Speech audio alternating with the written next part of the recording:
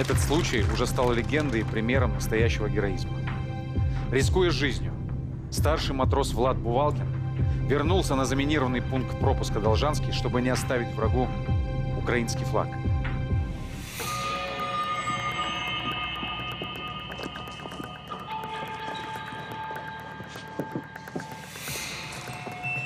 Ну что, там много еще? Один.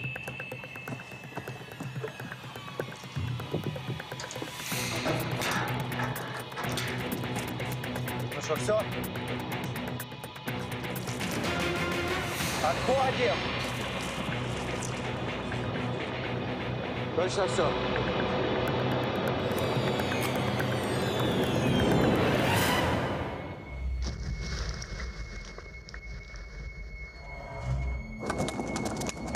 Все, отходим, отходим. Твою мать! Ты куда? Стой!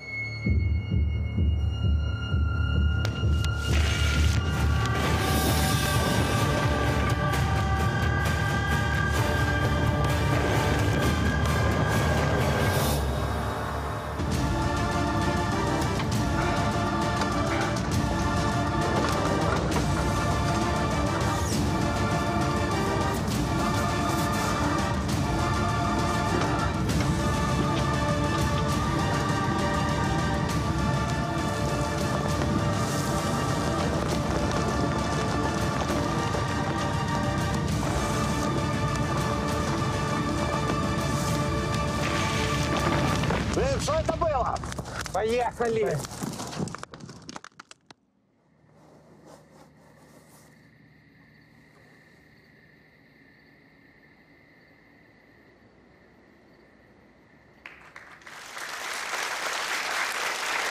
Я приглашаю в эту студию человека, который, рискуя собственной жизнью, спас украинский флаг. Встречайте. В нашей студии старший матрос Влад Бувалкин.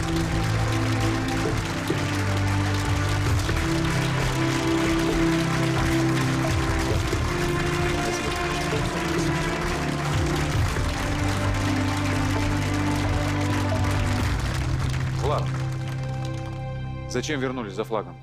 Э, В последний момент я просто вспомнил про флаг, ну и как бы э, не хотелось оставлять его на поругание, потому что ну, я видел по интернету, что делают с нашими флагами, вот.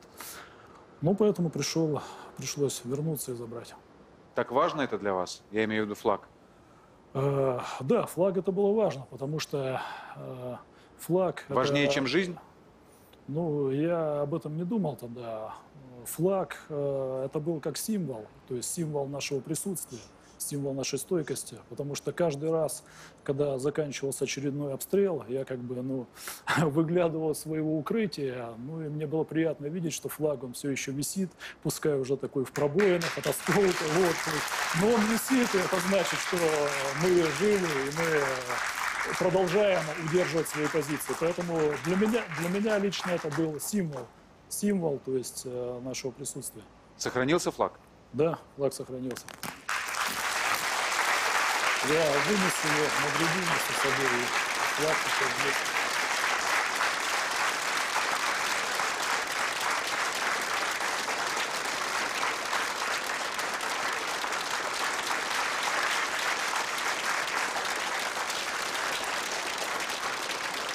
Нас есть возможность показать эмоции Влада, которые сохранились на видео сразу после этого события.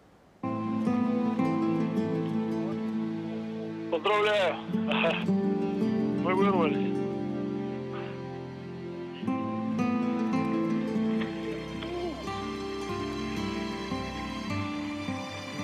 Вырвались пояс и оружие со знаменами. Тогда чувствовал вот гордость именно, что, ну, как считается, что если подразделение сохранило оружие и сохранило знамя, значит, оно достойно отступило. Первое, что я сделал, это я набрал номер и позвонил сыну. Слезы навернулись на глаза, то есть я за два месяца впервые поговорил с сыном.